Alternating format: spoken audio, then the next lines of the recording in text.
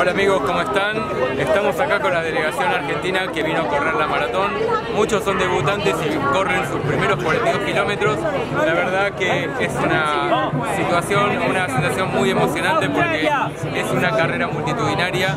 Eh, es muy buena la onda de la gente, cómo nos recibe y uno tiene toda la euforia y todas las ganas de correr. En mi caso yo soy periodista, vine a correrla y a cubrirla, es la primera vez que corro 42 kilómetros en Nueva York, he corrido en Buenos Aires eh, y acá estamos con, todos los argentinos que vinieron a correr. Un poco vinimos preocupados y un poco pesadumbrados por lo que pasó con el atentado, con, los chicos rosarinos que fallecieron, queremos mandarle eh, condolencias a las familias, sabemos que en Rosario están haciendo días de duelo por lo que sucedió. Eh, repudiamos totalmente ese tipo de, atentados, cualquier tipo de atentado obviamente, y esperemos que bueno que el evento se pueda desempeñar en paz y tranquilidad, porque esto es una fiesta, es una alegría.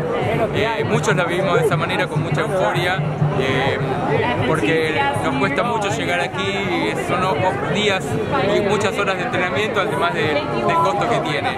Así que venimos con la mejor expectativa, con ganas de divertirnos, de disfrutar, de superarnos a nosotros mismos y también conocer gente de otros países que tienen la misma pasión que nosotros, que eso realmente eh, supera cualquier, cualquier barrera eh, cultural o de idioma porque en definitiva el que está al lado nuestro corriendo siente lo mismo que nosotros y eso realmente nos une. Saludos para todos los televidentes, muchas gracias.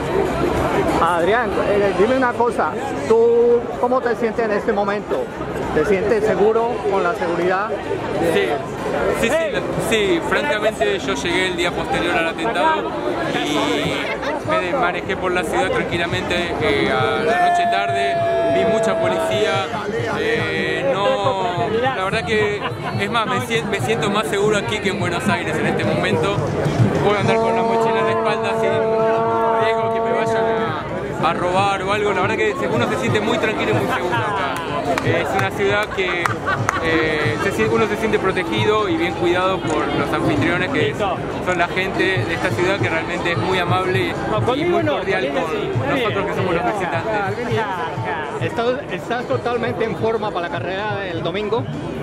Esta es una muy buena pregunta porque el tema es que hace tres semanas corrí la maratón de Buenos Aires, cosa que no es lo más, eh, recomendable, pero tengo un gurú, tengo un entrenador que me dijo, sí, no hay drama, puedes hacerlo porque estás en la cresta del entrenamiento.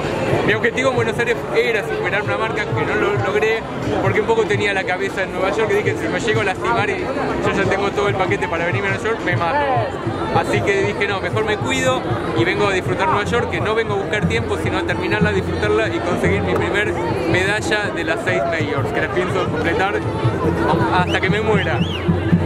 Bueno Adrián, te deseamos mucha suerte en la carrera y espero verte el domingo en una pequeña entrevista eh, en la milla 25. Un saludo para Argentina y de New Jersey Media un sentido pésamo a, la familia de, los muchachos que cayeron aquí en el parque. Tal cual, eso, queremos solidarizarnos con la familia de los chicos que sufrieron atentado y bueno Nicolás yo también espero verte en la milla 25 y en una condición digna. como para que me pueda reconocer y no me esté arrastrando. Ah, ok, bueno, muchas felicidades.